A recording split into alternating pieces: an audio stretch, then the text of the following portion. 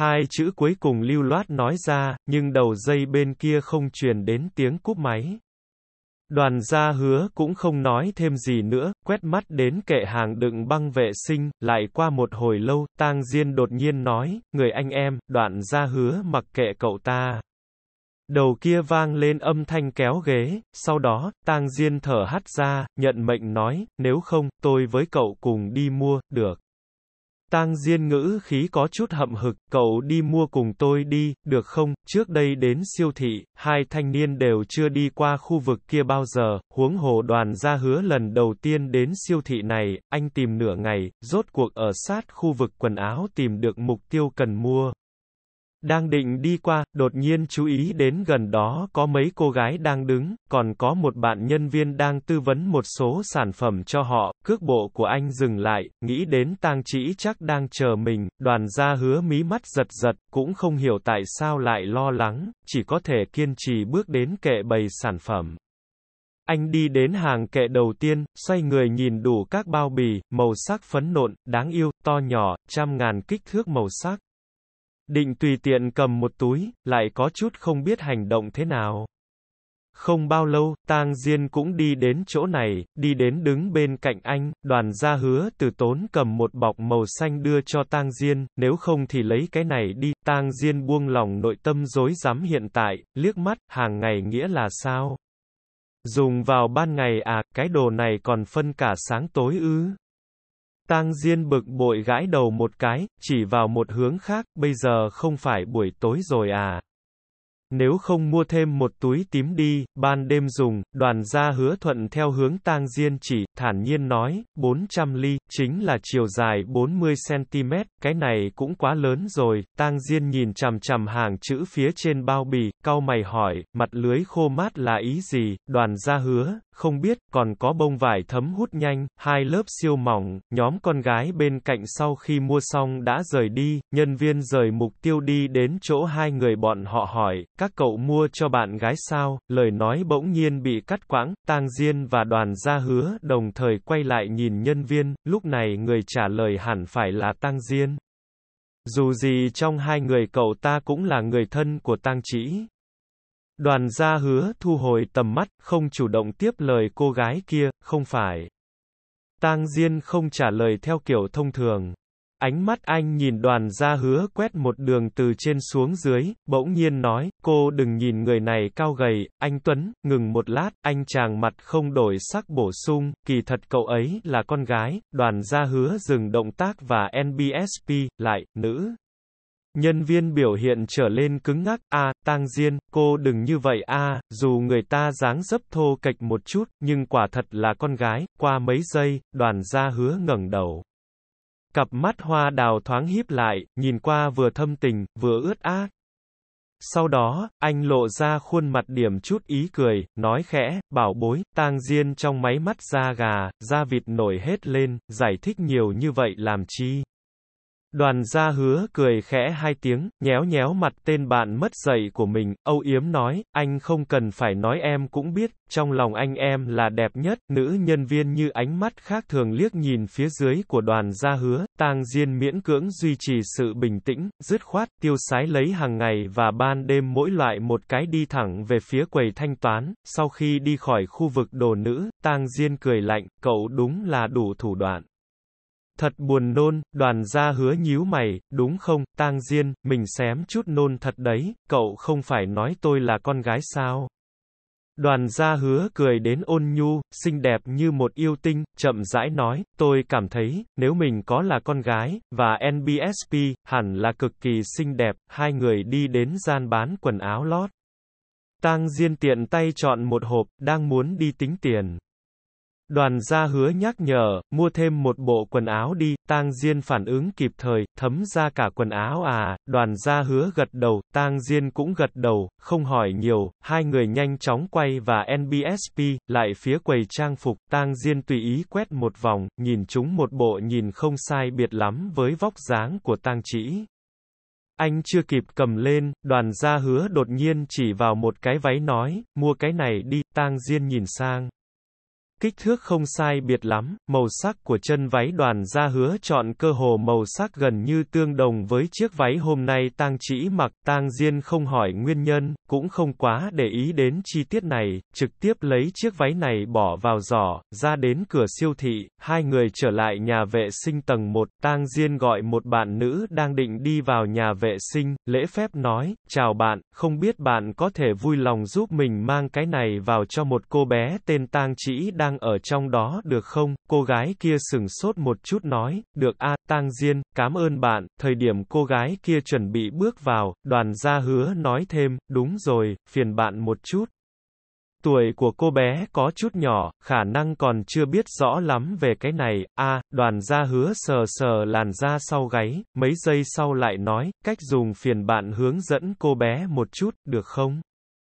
Cô gái nhỏ ra mặt mỏng, có thể vì ngại nên không dám hỏi, cô gái kia vui vẻ cười, không thành vấn đề, bạn yên tâm, tang chỉ.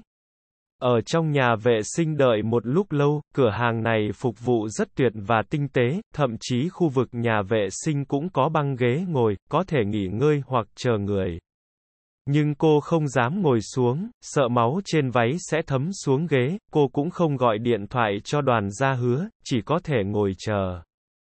Qua 10p, có một cô gái xa lạ cao gầy tiến vào. Cô ấy nhìn một vòng quanh nhà vệ sinh, ánh mắt dừng lại trên người tang chỉ, đi đến thân thiết nói, em gái, em là tang chỉ đúng không? Tang chỉ vội vàng gật đầu, anh trai em gửi chị đồ bảo hộ cho em nè. Cô gái kia đem một túi to đưa cho tang chỉ, nghĩ nghĩ một chút lại nói, em có biết dùng thế nào chưa? Tang chỉ tiếp nhận cái túi, gật gật đầu, em biết, cảm ơn chị nhiều, thấy đôi mắt tang chỉ đỏ hồng, cô gái kia an ủi vài câu, không có chuyện gì đâu, ai cũng sẽ gặp chuyện thế này thôi. Đừng khóc, mau đi thay quần áo đi, tang chỉ cảm ơn cô gái kia một lần nữa, sau đó vào trong một gian phòng thay đồ.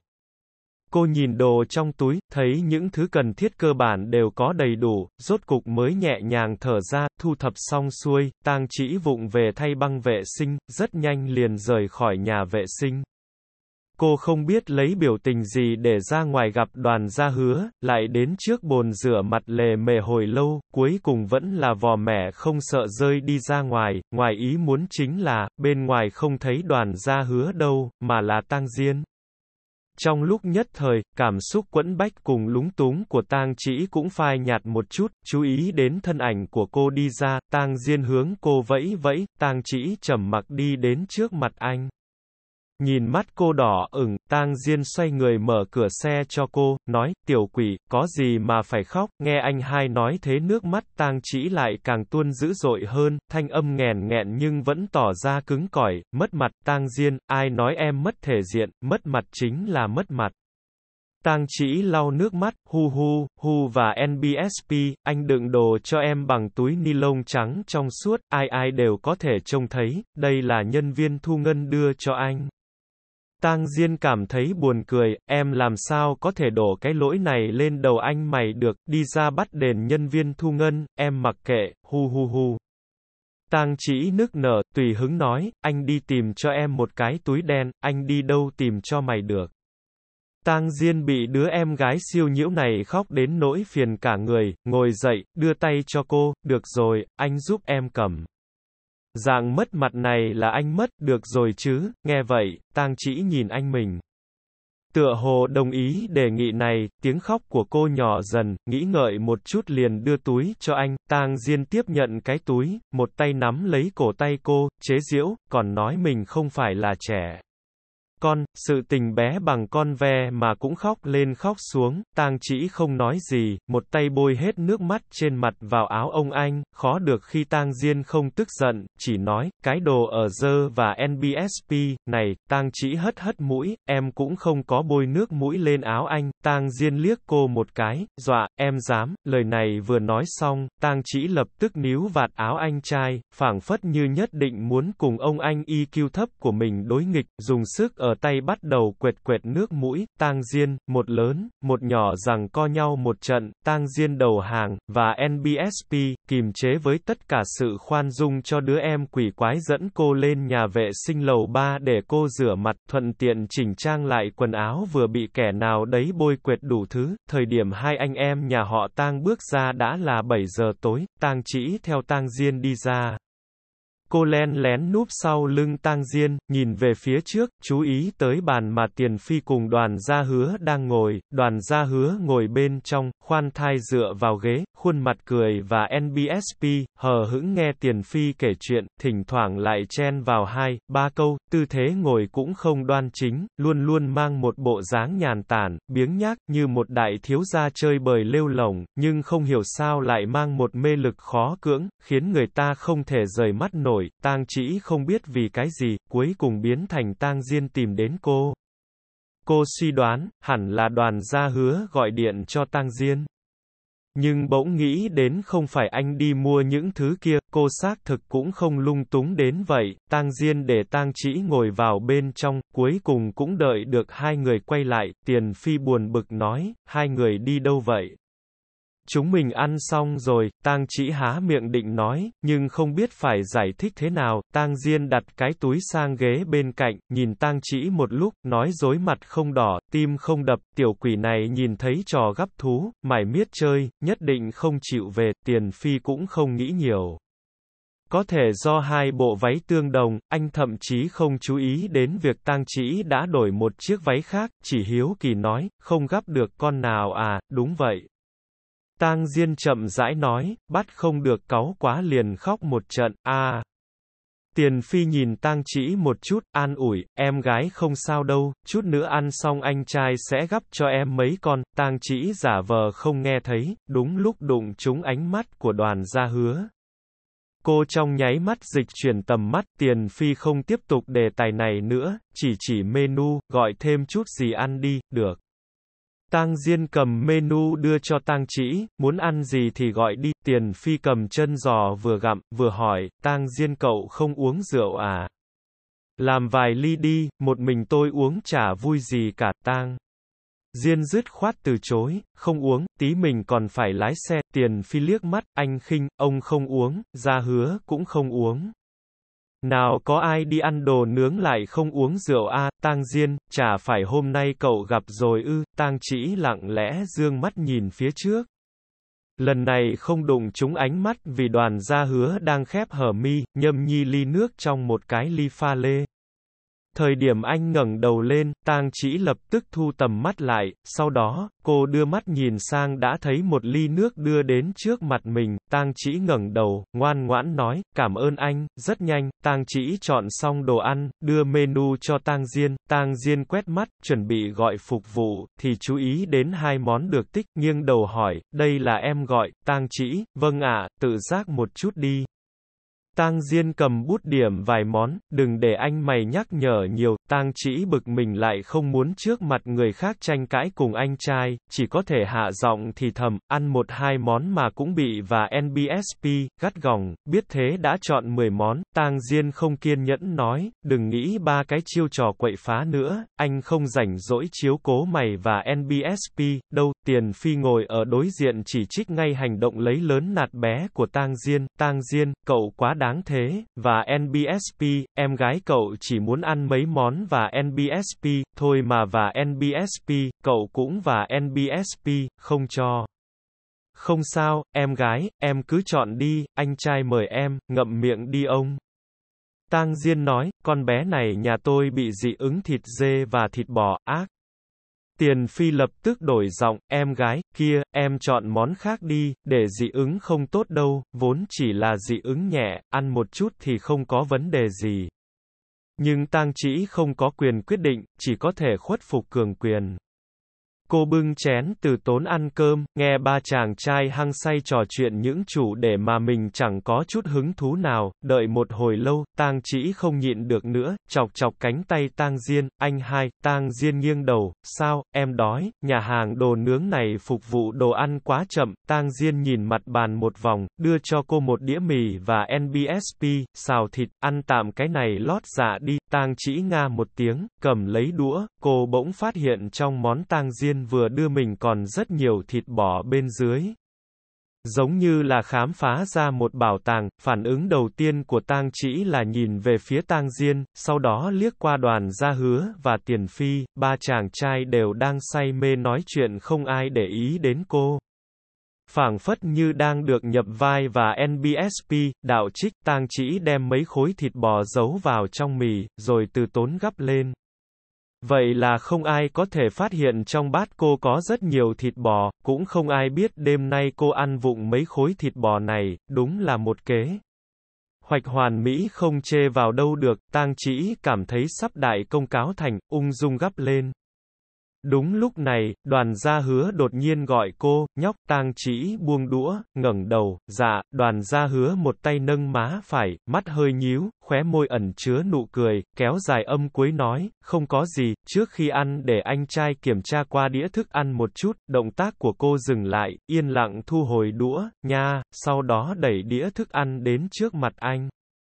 Hai người kia vẫn đang hăng say trò chuyện không chú ý gì đến tình hình bên này, đoàn gia hứa cầm đũa, chậm rãi đảo qua đĩa mì xào thịt bò, tiếp đến tang chỉ nhìn thấy anh từ từ, chậm rãi, từng gắp, từng gắp bỏ hết thịt bò vào bát của mình, ngay cả một mẩu thịt nhỏ xíu cũng không chừa lại cho cô, cho đến khi đĩa mì sạch trơn chỉ còn lại màu vàng óng của mì, anh mới đẩy lại đĩa thức ăn về phía cô, tỏ vẻ thành tựu nói, tốt rồi, ăn đi.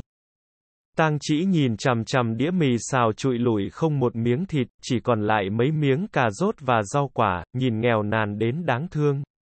Ánh mắt của cô lia nhanh đến kẻ chủ mưu đoàn ra hứa, yên lặng xen lẫn không cam lòng nhìn chiếc bát đầy ắp thịt bò, một ngụm uất ức chặn cứng ở cổ, không phát tác được, và NBSP, cô thật sự muốn túm cổ áo anh hỏi, tên bất lương.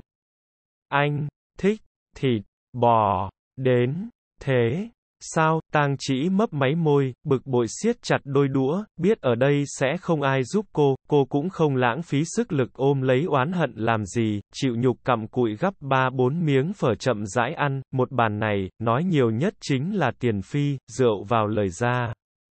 Cả buổi tối, đa phần đều là anh ta ngồi nói chuyện, đồ ăn trên bàn cũng đa phần là anh ta giải quyết, tang chỉ buồn bực, ngán ngẩm nghe bọn họ nói chuyện phiếm. Ngoài trừ game ra thì lại là game, không đả động gì đến con gái, cũng chẳng động chạm nửa chữ đến vấn đề học tập, tang chỉ cúi đầu ăn mì, quay hàm trống không, qua nửa ngày, cả ba ông anh đã say khướt. Lần này rốt cuộc bắt đầu động chạm tí đến đời sống tình cảm của mình, một ông tuyệt vọng, suy sụp cho hay, con mẹ nó chứ, đã năm thứ ba đại học mà vẫn chưa bạn gái, đờ mờ năm thứ ba rồi a a a gạch dưới, tang chỉ lúc này đang đưa tay muốn với một cái đùi gà, bất thình lình bị tiếng thét ủy khuất kinh thiên động địa này làm giật mình, lập tức rút tay về, cô lặng lẽ đưa mắt nhìn, và NBSP, tang diên giật giật khóe miệng, đừng hét lên, ông đợi đến tốt nghiệp rồi khóc một thể cũng không muộn, không? Ông đây chịu đủ rồi. Tiền Phi chỉ tay vào mặt tang Diên, con gái gặp tôi không phải là muốn xin số của cậu gạch dưới, lại quơ quơ ngón tay chỉ vào đoàn gia hứa, thì là của cậu. Tiền Phi khóc giấm dứt, chưa ai có ý định xin số của tôi cả hu hu hu, nhìn đường đường là một chàng trai mà khóc ấm ức đến như thế, và NBSP, lương tâm tang Diên và NBSP, đột ngột bộc phát, đầy chân thành và NBSP, đề nghị, nếu không thế này đi, lần sau cậu cứ và NBSP BSP, nói cậu tên là Tang Diên. Họ nói muốn xin số tang diên vậy chính là xin số cậu rồi, đoàn gia hứa mí mắt giật giật, ngẩng đầu lên, giật tờ khăn giấy, cầm một cái cánh gà để vào chén tang chỉ, thuận miệng phụ họa, cậu nói tên cậu là đoàn gia hứa cũng được, đây không phải là họa vô đơn chí sao, và NBSP, nghe thấy thế, tiền phi liền nín khóc, nhìn hai thằng bạn chí cốt chằm chằm, và NBSP, bầu không khí bỗng dừng như ngừng lại.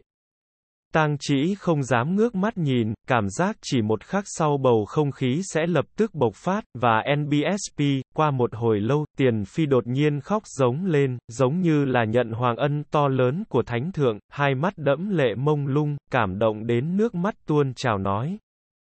Hảo huynh đệ, Ô ô ô hảo huynh đệ, ăn xong cũng không muộn lắm, tang Diên đi trước tính tiền, thuận tiện ra xe trước, và NBSP, đoàn gia hứa đỡ tiền phi đứng lên, cúi đầu nhìn về phía tang chỉ, nhóc con, đi thôi, đi phía trước anh đi, tang chỉ nga một tiếng, nghe được thanh âm của tang chỉ, tiền phi tốn sức ngước mắt nhìn về phía cô, đột nhiên nhớ ra một việc, a em gái, anh trai còn muốn lấy búp bê cho em.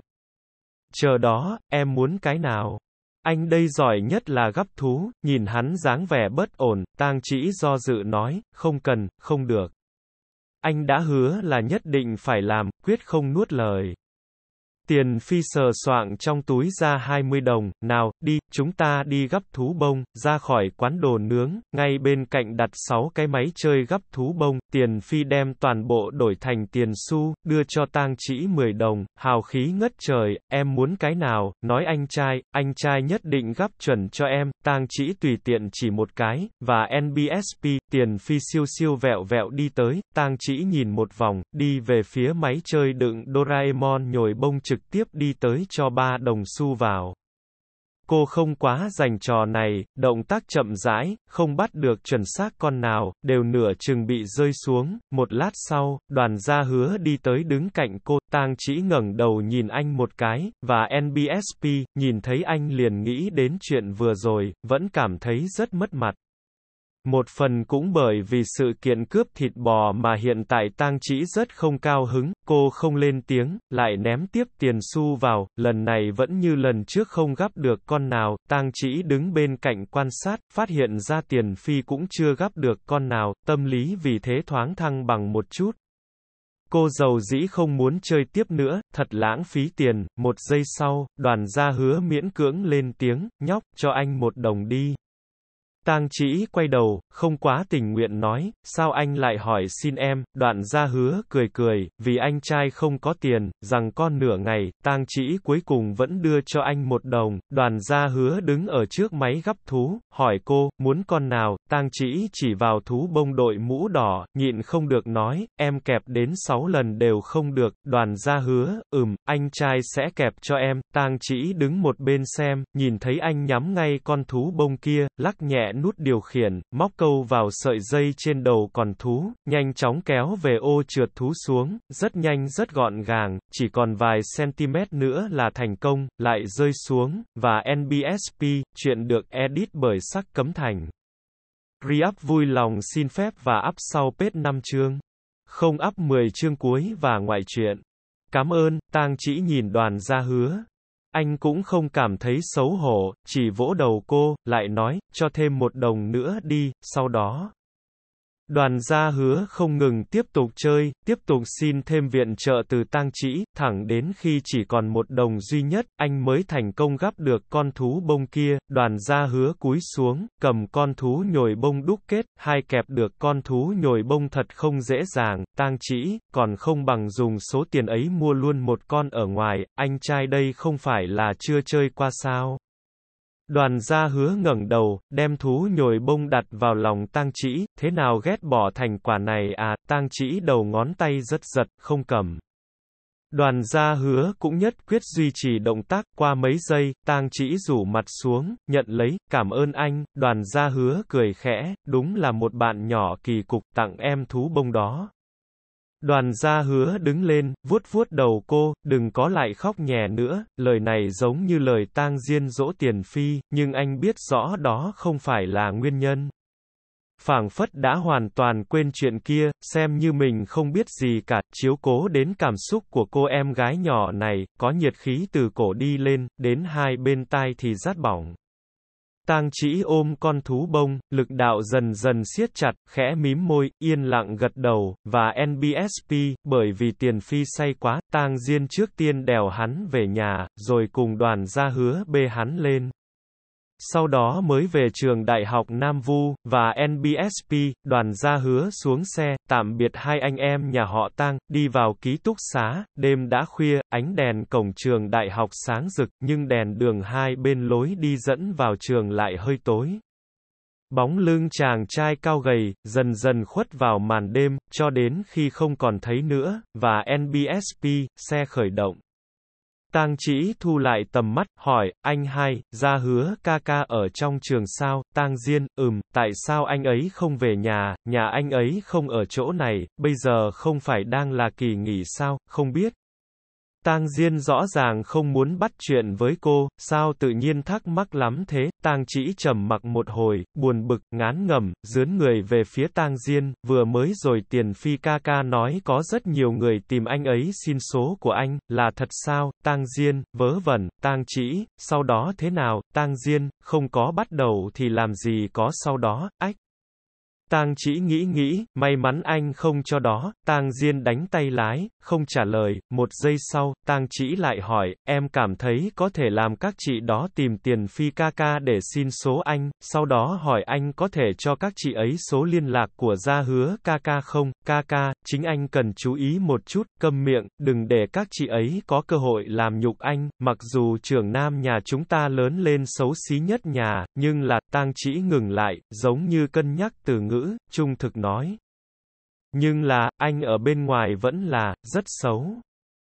Về đến nhà, tang chỉ lập tức về phòng, và NBSP, đi thẳng vào nhà tắm. Còn chưa kịp cởi quần áo, cô đột nhiên nhớ tới mình còn chưa đem giặt bộ váy bẩn kia, cấp tốc chạy ra ngoài, và NBSP, không thấy cái túi, và NBSP, cô đi đến phòng tang diên, cửa không khóa, cũng không có ai, thấy tiếng động dưới bếp, có thể nghe thấy tiếng tang diên đang khui đồ ăn, và NBSP, không phải vừa mới đi ăn về sao, tang chỉ mặc niệm trong đầu, thật sự là cái thùng không đáy, sau đó trở về phòng. Liếc mắt liền thấy cái túi đặt trên bàn đọc sách, và NBSP, cô cầm cái túi trở lại phòng tắm, cầm chậu, xả nước mau chóng giặt đồ, và NBSP, đây là lần đầu tiên tang chỉ tự mình giặt quần áo. Cô vò mạnh chỗ bị bẩn, động tác vụng về, chậm chạp, tẩy không còn một vết bẩn nào, và NBSP, đến thời điểm tang chỉ đi tắm đã qua một giờ sáng, và NBSP, cô ôm chậu, chậm chạp đi đến ban công phơi quần áo. Tang Chỉ đang muốn trở về phòng, đúng lúc này nghe thấy thanh âm của Tang Diên và NBSP, hắn tựa hồ đang nói chuyện điện thoại với ai đó, ngữ khí có vẻ không kiên nhẫn, đã nấu xong rồi, con quan tâm cái gì á? Tại thấy con bé không thoải mái lắm. Tang Diên nói, thêm cái gì ạ, à, táo đỏ, đương quy. Mẹ ơi, sao giờ mẹ mới nói, mẹ không nói từ đầu làm sao con biết được, ba, mẹ không phải là mai sẽ trở lại sao? Đến lúc đấy mẹ xử lý đi, con mệt chết đi được, con gái hai người đẻ và NBSP, ra nhà. Thôi cứ uống thế này đi, qua mấy giây, tang diên tựa hồ đã cúp điện thoại. Rất nhanh, hắn đã và NBSP, bưng một bát canh nóng hồi đến. Nhìn thấy tang chỉ, trên mặt cũng không có cảm giác trột dạ, lạnh lùng nói, đến đây, uống hết đi, tang chỉ chậm rãi tiến tới, đón lấy bát canh, anh làm sao mà mặt như thế, không chào đón đứa em gái này hả, anh mày nếu không chào đón mày.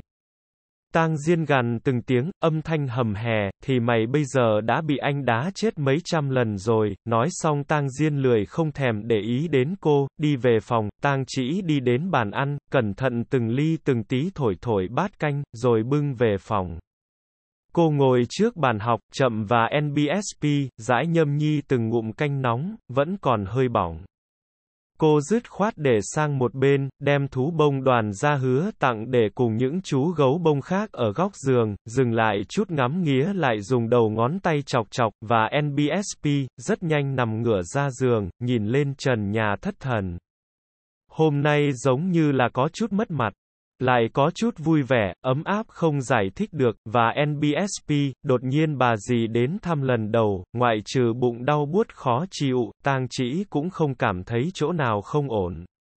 Nhưng sáng hôm sau tang chỉ bị cái đau kéo tỉnh giấc, phần bụng giống như bị một giải kim thắt chặt, và NBSP, mẹ Lê Bình và ba tang Vinh đã trở về, nấu cháo gạo cho tang chỉ, và NBSP, còn khó chịu không con? Đợi cô rửa mặt xong, mẹ Lê Bình ngồi ở bên cạnh ân cần hỏi, đến là tốt, mẹ nghe mợ nói, hiểu băng sau khi kinh nguyệt đến, tầm tháng sau lập tức cao lên 1m7 đó, tang chỉ đang uống cháo, nghe nói vậy, nghĩ nghĩ, chị họ ý ạ, à, đúng nha, tang chỉ hồ nghi nói, chị ấy không phải vốn cao 1m6 sao, Lê Bình, đúng vậy, Nếu tính như thế, con không chừng có thể cao lên 1m6, 1m6. Tang chỉ nuốt cháo vào bụng, lắc đầu, quá thấp, tốt nhất là cao lên 1 mét 7, vậy cần chăm chỉ ăn cơm, bổ sung canxi.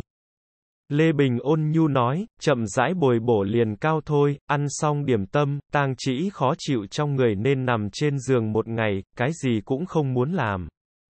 Nhưng nghĩ đến sẽ cao lên, đây hẳn là dấu hiệu và NBSP, đầu tiên của sự trưởng thành, về sau không còn nhìn loát choát như một đứa bé con nữa, vì vậy sự đau đớn này cũng cảm thấy và NBSP, không quá khó chịu nữa. Thứ tư, tuần cuối cùng của tháng là sinh nhật phó và NBSP, chính sơ, lúc đầu tang chỉ quyết tâm không đi, nhưng dù sao cũng là bạn cùng học, Lê Bình còn đăng ký lớp vẽ mùa hè cho cô.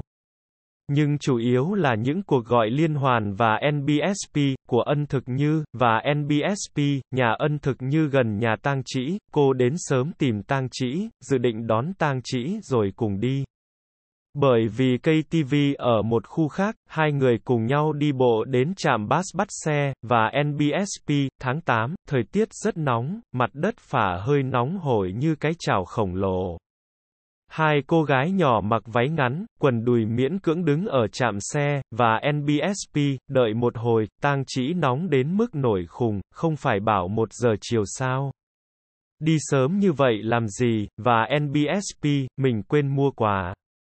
Ân thực như ngượng ngùng thè lưỡi, dù sao chúng mình cũng phải sang bên quận và NBSP, a vừa vặn đi chơi một lát, lại mua được quà, mua xong liền đến chỗ hẹn với bọn chính sơ, giờ mới 10 giờ thôi cô nương của tôi ạ, ngồi xe cũng phải một tiếng nha.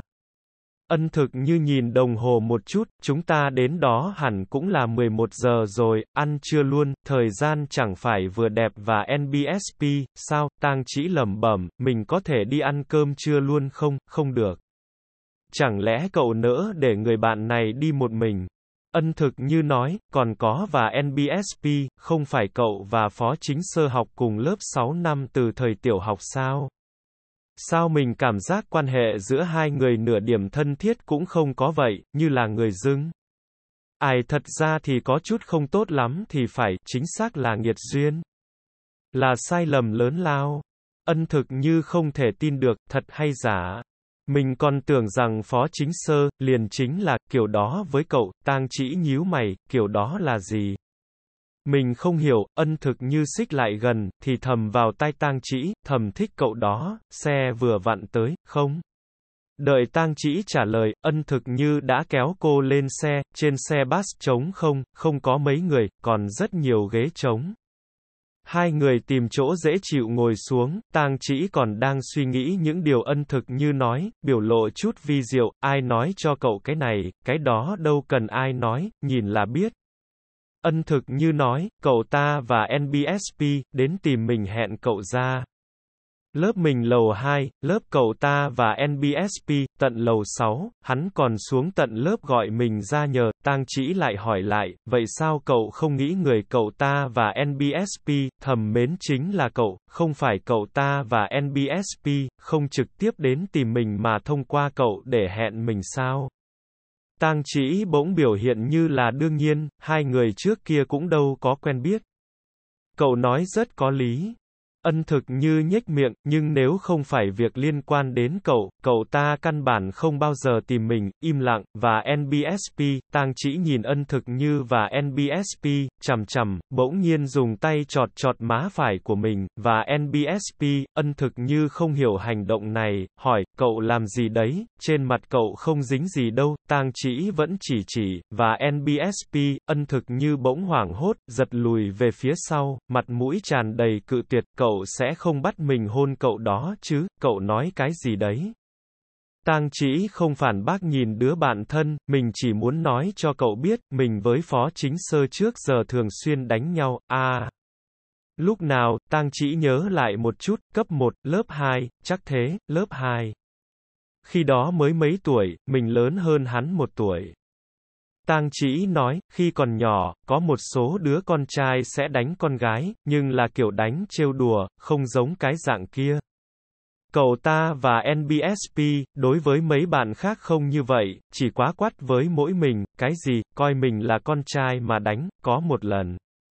Tựa hồ như muốn chứng thực lời nói của mình, tang chỉ chỉ vào má phải, từng chữ rõ ràng nói ra, cậu ta và NBSP, đấm mình một phát rõ mạnh vào má phải nè, chữ, đấm, cô tận lực nhấn mạnh, và NBSP, ân thực như, thật vậy à, có nghiêm trọng không, ừm. Không biết có tính là nghiêm trọng không? Tang chỉ suy tư, sau đó bắt đầu cường điệu, mình đánh không lại cậu ta. Chủ yếu là phòng vệ thôi, sau đó bị ngã mạnh xuống đất, thật không may lúc ngã đập dụng một cái răng.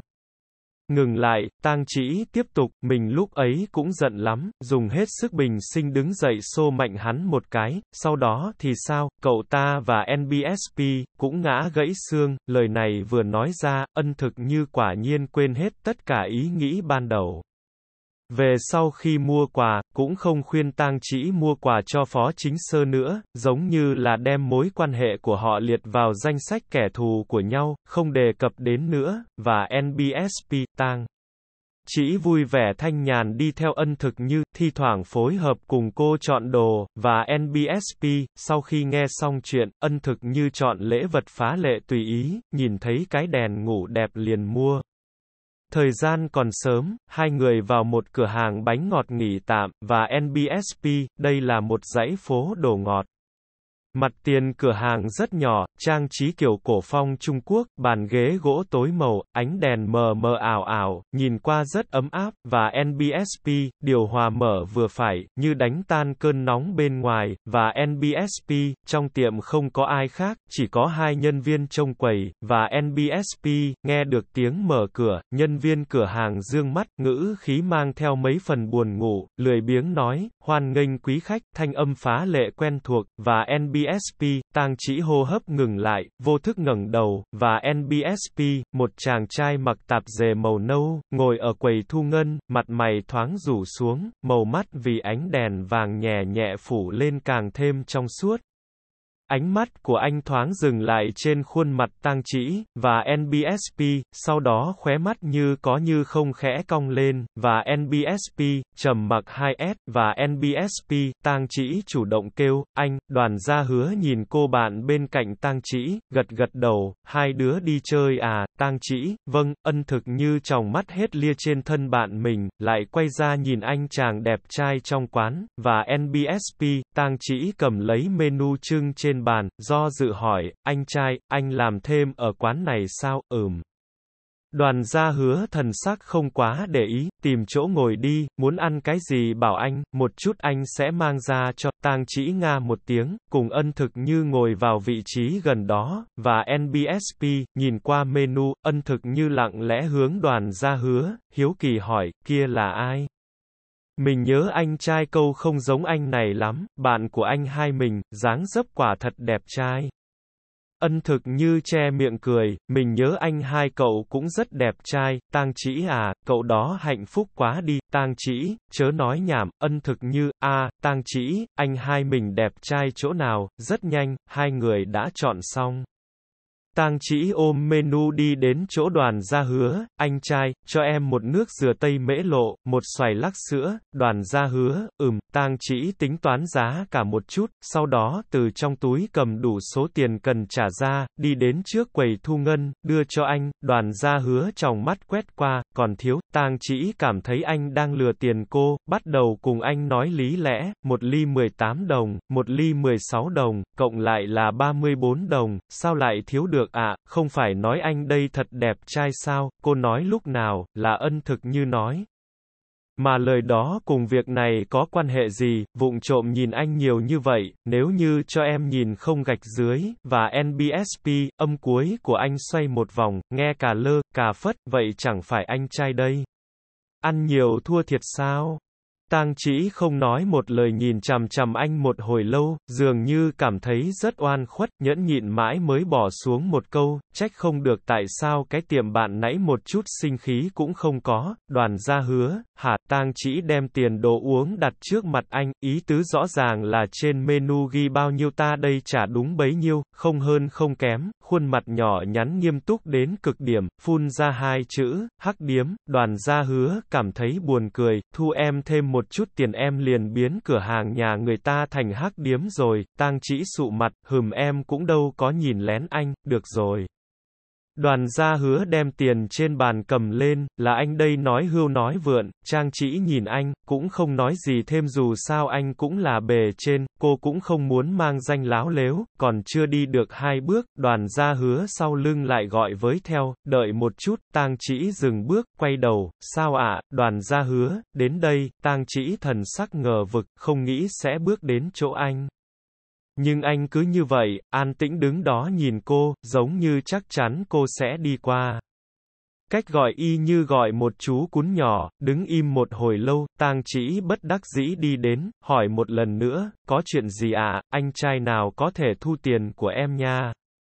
Bàn thu ngân của cửa tiệm cao ước chừng một mét, đoàn gia hứa cúi người, bắt lấy cổ tay tang chỉ, đem tiền nhét lại tay cô, giữ lại mua kẹo ăn đi, tang chỉ sừng sốt một lát, anh thu tay lại, phía sau quầy thu ngân là chỗ chế biến, đoàn gia hứa xoay người bắt đầu làm đồ uống, tang chỉ yên lặng đem tiền bỏ lại trong túi, làm sao giờ, tay trước vừa đánh một cái, tay sau liền cho một viên kẹo đường, đúng là luyện tuyệt chiêu vừa đấm vừa xoa đến quỷ khóc, thần sầu rồi, còn cô, dù biết vậy nhưng lần nào cũng không nỡ cự tuyệt, cứ để anh đối với mình như vậy, phi thường quật cường bởi vì, đánh, mà cùng anh tranh chấp, sau đó lại phi thường mất mặt mà đem, kẹo đường, anh cho vui vẻ nhận. Chuyện được edit bởi sắc cấm thành. Re-up vui lòng xin phép và up sau pết 5 chương. Không up 10 chương cuối và ngoại truyện. Cảm ơn, trở lại chỗ ngồi, ân thực như lại gần, lần này cô nàng ép thanh âm xuống rất nhỏ thì thầm nói, tang chỉ, anh kia muốn mời chúng mình sao, tang chỉ, ừ, hắc hắc thật tốt. Ân thực như vui vẻ, mua xong quà mình cũng không còn thừa nhiều tiền tiêu vặt, mình còn muốn mua ấn phẩm đính kèm cùng tập truyện tranh sắp xuất bản, hình như là một chiếc mũ hải tặc rất ngầu, cậu cũng thật là, quá tốn kém rồi, nhưng đẹp lắm. Không mua thận có lỗi với bản thân, biết tang chỉ không hứng thú với mấy cái này, ân thực như chuyển chủ đề, đúng rồi. Vừa rồi phó chính sơ nhắn. Tin kêu kêu cho mình, hỏi chúng ta đang ở đâu, mình báo cậu ấy địa chỉ rồi, ồ, cậu ấy hình như đã đến đây, nói sẽ đến tìm chúng mình.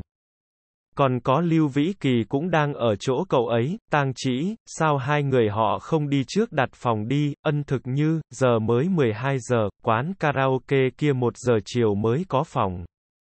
Bọn họ nói đã gọi điện hẹn trước, chúng ta cứ đi ăn cùng nhau, sau đó cùng đến đó, còn có ai nữa, hình như còn thêm mấy bạn cùng lớp của Phó Chính Sơ. Ân thực như nói, nhưng mà đi ăn cùng chúng mình chỉ có vài ba người thôi, số còn lại đều đến thẳng quán karaoke, đúng lúc này, đoàn gia hứa bưng hai ly đồ uống lên. Nghe thấy thế, đôi mày anh hơi nâng, cặp mắt hoa đào quét tới, thuận miệng hỏi, hai đứa định đi hát karaoke à, ân thực như lập tức im lặng, tang chỉ gật đầu, đoàn gia hứa không nói gì, chỉ dặn dò, đi cẩn thận, nhớ kỹ trước khi trời tối nhớ về nhà, đừng đi chơi muộn quá, giọng điệu này nghe thật giống muốn giúp ông anh trai chuyên chế tang diên quản giáo cô, nhưng kỳ thật anh hai tang chỉ trước giờ đều không quan tâm cô đến thế này, tang chỉ ồ một tiếng, chờ anh đi rồi, ân thực như lại gần nói, bạn anh trai cậu sao nói chuyện y hệt ba mình, lần nào mình đi ra khỏi nhà ba mình cũng đều nói với mình y chang như vậy, tang chỉ đồng ý gật đầu, ba mình cũng hay nói với mình như vậy, còn chưa uống được một nửa, Phó Chính Sơ và Lưu Vĩ Kỳ đã đến, thực tình tang chỉ rất ít khi thấy hai người này.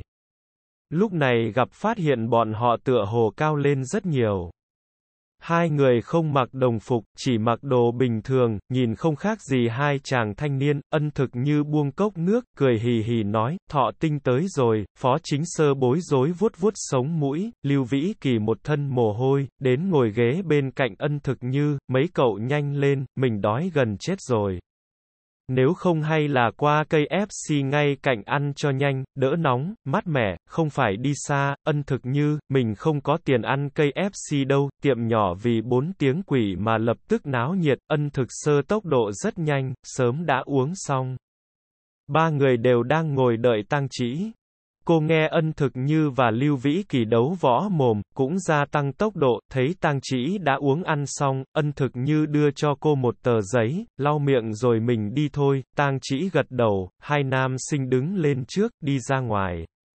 Ân thực như kéo tay tang chỉ, kéo cô cùng đi, thời điểm đi ngang qua quầy thu ngân, tang chỉ giống như nhớ ra cái gì, bước chân dừng lại, rút tay ra khỏi tay ân thực như nói, cậu ra ngoài trước chờ mình, nghe vậy, ân thực như nhìn đoàn ra hứa một chút, hiểu rõ, được, cậu nhanh lên nhé, sau đó liền chạy ra ngoài, đoàn ra hứa ngồi trên ghế chơi game một chân gác lên. Ghế dựa bên cạnh, tư thế ngồi tùy ý, lười nhác. Thấy cô đi đến, anh buông điện thoại, có chút hăng hái nói, tiểu tang chỉ nhà chúng ta, muốn cho anh trai cái gì sao, tang chỉ trần chờ vài giây, cuối cùng rất thẳng thắn trực tiếp hỏi, anh à, anh thiếu tiền tiêu sao, không nghĩ đến cô lại hỏi cái này, đoàn gia hứa cười nhẹ, ừ. Thế nào, lần trước đi ăn đồ nướng, tiền phi ca ca cũng nói anh đi làm gia sư ở quận bên cạnh.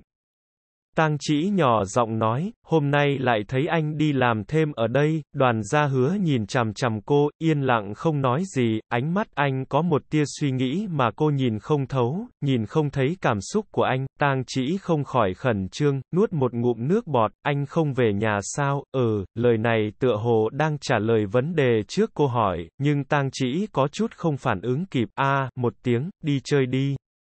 Giọng đoàn ra hứa tản mạn, giống như là hoàn toàn không đem chuyện đó để trong lòng, các bạn em vẫn đang chờ bên ngoài đó, nói xong, anh quay người lại quầy chế biến, bắt đầu rửa cốc chén, qua một lúc, đoàn ra hứa nghĩ tang chỉ đã rời đi, sau lưng đột nhiên vang lên giọng trong trẻo, giòn tan, anh, hẹn gặp lại, sau đó vang lên một tràng tiếng bước chân nhanh chóng rời đi, đoàn ra hứa lấy khăn bông lau sạch ly chén và bàn, quay đầu lại thoáng nhìn, ánh mắt dừng lại trên mặt bàn, trên bàn đặt mấy chồng tiền nho nhỏ, trừ chỗ tiền anh vừa đưa lại cho cô, hình như còn thêm không ít.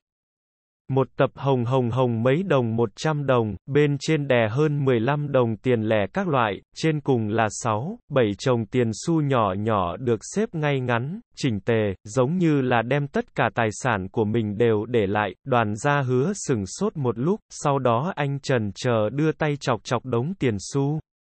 Tháp tiền nhỏ thuận thế sụp xuống, trượt thành hàng dài trên mặt bàn, đuôi lông mày anh dương lên, đột nhiên cười ra tiếng, chuyện gì xảy ra vậy này, lần này có vẻ như anh thật sự đã lừa gạt tiền một đứa bé. Cảm thấy có chút ác độc, tang chỉ thật sự không lưu lại một phần tiền nào trong ví của mình, cơm trưa cũng là vay tiền của ân thực như mua, thời điểm không có tiền, lại cùng một nhóm bạn không mấy quen thuộc ở cùng nhau, cô luôn cảm thấy không yên tâm, 5 giờ chiều, một nhóm người trong quán karaoke hát đến cao hứng. Tang chỉ bưng chén trà uống chậm rãi, lỗ tai bị hành hạ đến phát đau, xoắn suýt nửa ngày, cuối cùng quay sang ân thực như nói, ân thực như, mình chuẩn bị về đây, ân thực như không nghe rõ, ngẩng đầu nói, cậu nói cái gì, tang chỉ đành đề cao âm lương, mình nói, mình muốn về nhà, đúng thời điểm này, ca khúc đang phát bắt đầu kết thúc, thanh âm của cô lập tức vang lên thật lớn thu hút sự chú ý của tất cả mọi người. Một đám thuận thế hướng về phía cô, rất nhanh, âm nhạc lại vang lên, đem bầu không khí ngưng kết hiện tại đánh vỡ, những người còn lại cũng không quá quan tâm đến tang chỉ. Chỉ có phó chính sơ đi tới, ngồi cạnh cô, nói, tang chỉ, cậu phải về sao, đúng. Tang chỉ nói, ba mình dặn nhớ về trước trời tối, nghĩ nghĩ cô bổ sung một câu, sinh nhật vui vẻ, phó chính sơ trầm mặc mấy giây, sau đó nói, để mình đưa cậu ra chạm xe, tại sao? Xuống dưới lầu là chạm xe rồi. Tang chỉ thần sắc cổ quái, đứng lên, cậu cứ ở lại đi, mình tự đi được, cô quay đầu, cùng mấy người quen nói tạm biệt, rồi rời quán hát, Tang chỉ lấy vé tháng ra, tòa nhà này có 5 tầng lầu, khu karaoke ở lầu 5, chỗ đoàn gia hứa làm việc ở lầu 4. Đi thang cuốn đến lầu 4, cước bộ của cô có chút chậm lại, sau lưng chợt vang lên âm thanh của phó chính sơ, sao cậu lại dừng lại thế, tang chỉ bị giật mình, lập tức quay đầu, có loại cảm giác làm việc xấu bị bắt quả tang, thẹn quá hóa giận nói, cậu đi theo tôi làm gì, ai đi theo cậu? Phó chính sơ biểu lộ có chút quẫn bách, mình ra ngoài hít thở không khí, ồ, tang chỉ tiếp tục đi xuống dưới, vậy chào cậu, hẹn gặp lại, tang chỉ mặc kệ cậu ta, đúng rồi. Phó chính sơ gãi gãi đầu, tìm một chủ đề để trò chuyện, khai giảng học kỳ sau sẽ báo thành tích học tập, cậu biết không, tang chỉ gật đầu, tôi có nghe nói kỳ thi cuối kỳ cậu thành tích khá tiến bộ, hình như là xếp thứ năm ngược từ dưới lên, phó chính sơ cảm thấy mất mặt, miễn cưỡng nói, lúc thi mình ngủ thiếp đi, nhìn bộ dạng này của cậu ta, tang chỉ có điều suy nghĩ, lại liên tưởng đến chuyện trước đó cậu ta ở trên xe bus thách thức cô, lần sau cùng thi xem ai được hạng nhất, rồi chuyện cậu ta và cô bị gọi gia đình đến vì trên lớp không nghe giảng, nhưng trên thực tế cậu ta không bị bắt gọi phụ huynh mà là chủ động yêu cầu thầy chủ nhiệm mời phụ huynh đến. Cô đột nhiên hỏi, có phải cậu cảm thấy tự ti, phó chính sơ, việc này cũng không có gì, tôi với cậu không học cùng lớp. Cậu học tập chăm chỉ thì thành tích sẽ tiến bộ lên thôi. Tang chỉ nói, cậu chỉ cần đừng lười như vậy, đem việc học để trong lòng một chút là được. Không cần tự ti, tang chỉ. Bị cô đổ ập xuống một đống đạo lý, phó chính sơ rút cục nhịn không nổi nữa nói, mình không tin cậu không nhìn ra, tang chỉ ngừng tạm, nhìn ra cái gì, phó chính sơ không nói chuyện, cái gì mà không nhìn với chả nhìn ra. Bỗng nghĩ đến lời ân thực như, tang chỉ do dự hỏi, chẳng lẽ là chuyện cậu thầm thích tôi, phó chính sơ kém một chút là muốn hét lên, cậu bình ổn hô hấp. Nghiến răng nghiến lợi nói, ai nói với cậu, tang chỉ vô tội nói, đoán thôi, phó chính sơ, cậu đừng có đoán mò, tang chỉ gật gù, ồ vậy là cậu không thể mến tôi rồi, phó chính sơ mặt không thay đổi nhìn chằm chằm cô, vò mẻ không sợ rơi nói, làm sao không thể, khuôn mặt tang chỉ có điểm biến hóa, a thiếu niên khí thịnh, dùng giọng điệu như chuẩn bị lao vào một cuộc chiến, nếu, gạch dưới gạch dưới mình nói là nếu thôi. Nếu mình thầm mến cậu, cậu sẽ làm gì?